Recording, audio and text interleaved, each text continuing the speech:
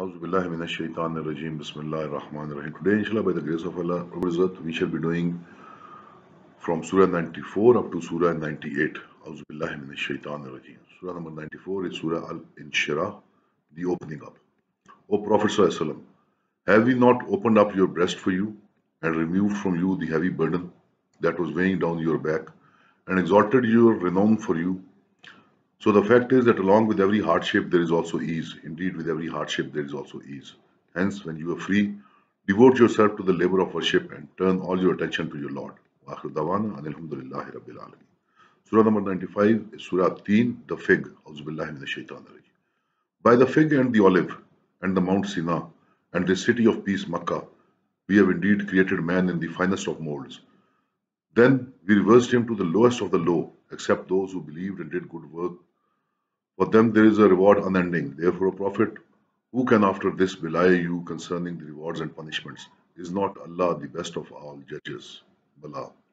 Waqra Dawan, Alhamdulillahi Rabbil Alameen, the 96th Surah, Surah Al-Alaq, the Clot, Auzubillahi Minash Shaitan Read in the name of your Lord who created created man from a clot of congealed blood. Read and your Lord is most gracious, generous, who taught knowledge by the pen, taught man what he did not know. Indeed not, man behaves rebelliously for he deems himself to be self-sufficient, although towards your Lord indeed is the return. Have you seen the one who forbids a servant when he prays? What do you think? If the servant be on the right path, or be exhorting to piety, what do you think? If the one forbidding be belying the truth and turning away, does he not know that Allah sees?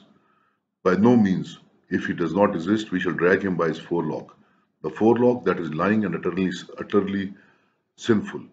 So let him call his band of supporters. We too shall call the angels of torment. Nay, never. Do not obey him and prostrate yourself and draw closer to your Lord. This is an ayat sajda. وآخر دعوانا أن الحمد لله رب العالمين. The 97th Surah, Surah Al-Qadr, the power. أعوذ بالله من الشيطان الرجيم. We have sent down this Quran in the night of glory. And what do you know what the night of glory is? The night of glory is better than a thousand months. The angels and the Spirit descend in it with every decree by the permission of their Lord. That night is peace until the rising of the dawn. Surah number 98, Al-Bayyinah, the clear evidence. The disbelievers from among the people of the book and the mushriks would not desist from their unbelief until the clear evidence should come to them. A messenger from Allah who should recite to them holy scriptures containing sound and correct writings. The people who were given the book before this did not divide into sects until after the clear statement of the right way had come to them. And the only command they were given was to worship Allah, making their religion sincerely His, turning all their attention towards Him and to establish the Salat and to pay the Zakat.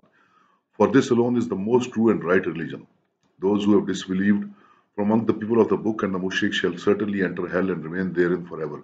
They are the worst of all creatures. As for those who believed and did righteous work, they are indeed the best of all creatures. Their reward with their Lord shall be gardens of eternity beneath which rivers will be flowing. They shall live in them forever and ever. Allah became well pleased with them and they with Allah. All this is for him who feared his Lord. Wa akhiru dawana and alhamdulillahi rabbil alameen.